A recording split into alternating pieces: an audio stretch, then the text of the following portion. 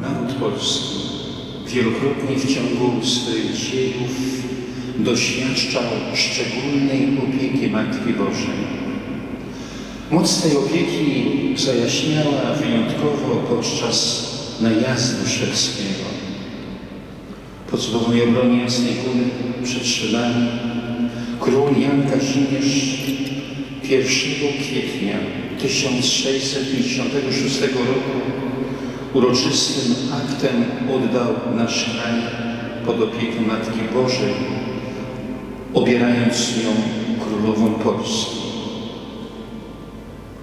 Po odrodzeniu Polski papież Pius XI ustanawia w 1924 roku specjalne święto Najświętszej Maryi Panny Królowej Polski i pozwolił je obchodzić w pamiętnym dniu uchwalenia Konstytucji 3 maja.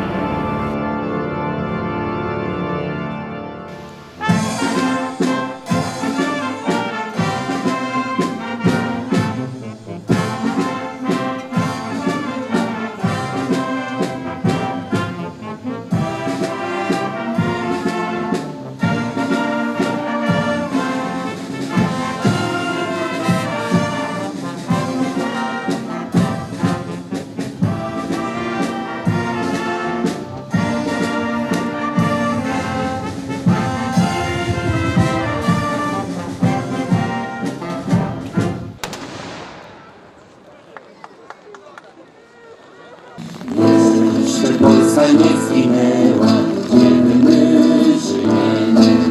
Co nam obca przemoc wzięła, szatą odbierzemy. Marsz, marsz, Polonia, nasz wielny narodzie. Odpoczniemy po swej pracy, do czystej zagrodzie.